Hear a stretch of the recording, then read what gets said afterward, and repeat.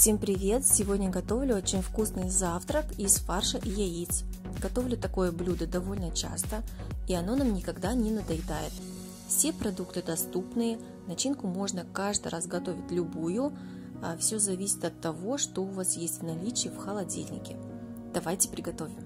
Беру 4 яйца, добавляю мелко нарезанный сладкий перец, тертый сыр, фарш, соль, перец и все перемешиваю.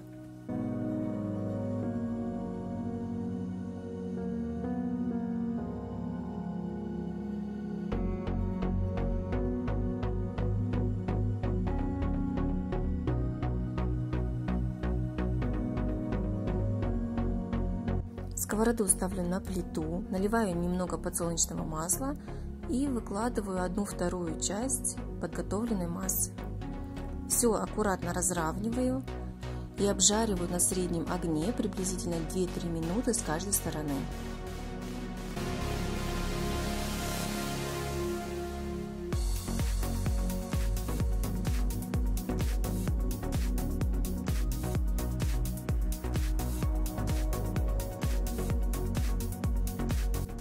Первый блин готов. Теперь беру 2 столовые ложки майонеза, можно заменить сметаной, добавляю зелень, немножко чеснока, перемешиваю.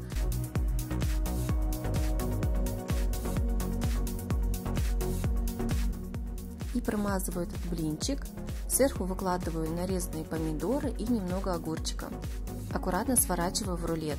Если блин сделать толще, то вы просто не сможете его свернуть в рулет, поэтому лучше делать потоньше.